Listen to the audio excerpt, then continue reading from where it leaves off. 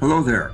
My name is Matthew Fox, and I'm excited to share my new book with you, The Tao of Thomas Aquinas Fierce Wisdom for Hard Times. Aquinas is one of the greatest geniuses of the West. He has a lot to say to us about science and spirituality and about compassion and justice. Check it out at MatthewFox.org.